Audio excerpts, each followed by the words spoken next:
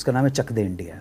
जबकि चक दे इंडिया के बारे में बाद में कर चक दे इंडिया आ, का जो मेन कैरेक्टर है वो असल में हमारे एक बहुत बड़े कोच श्री नेगी साहब की लाइफ के ऊपर है। लेकिन इंडिया के अंदर है ना कि वो मुसलमान को अच्छा कैरेक्टर बताना है और पंडित का मज़ाक उड़ाना है तो वो पुरानी एक व्याधि है जिसे गंगा जमनी तहजीब के नाम पर एक लेबल लगा दिया जाता है। एनीवे वो सारी चीज़ें हम सब उसका नाम है चक दे इंडिया।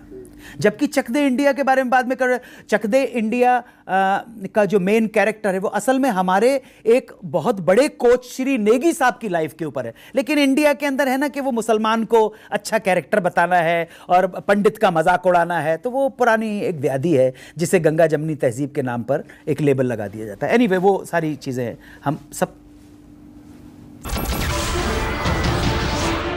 नमस्कार मैं हूँ मानक गुप्ता।